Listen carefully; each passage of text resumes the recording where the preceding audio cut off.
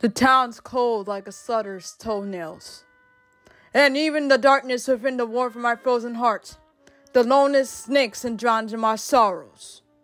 Until I decide to walk the abyss of mine, she'd remind me of the feline.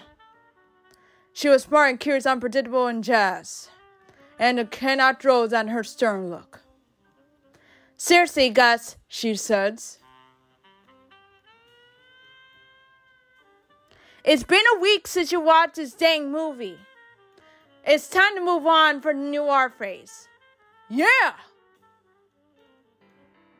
To anime.